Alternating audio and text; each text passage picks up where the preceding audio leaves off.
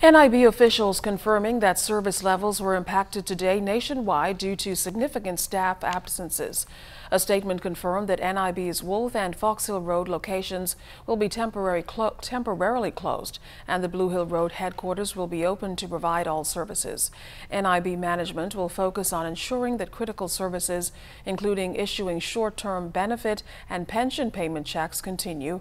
NIB's Occupational Health and Safety Unit will address emergency emergency, industrial, and medical cases only. However, customers can continue to submit industrial accident forms at the Carmichael Road office. NIB officials say there may also be a disruption in national prescription drug plan services. National Insurance Board officials also confirmed that offices in Crooked Island, North Eleuthera, Bunches, Long Island, Inagua, Fresh Creek, and High Rock Andros are closed. Mangrove Cay Andros offices opened earlier this afternoon for all services and pension payments. Now, Family Island pension payments were made today except in North Eleuthera, Bunches, Long Island, Inagua and Fresh Creek Andros, which will be paid tomorrow.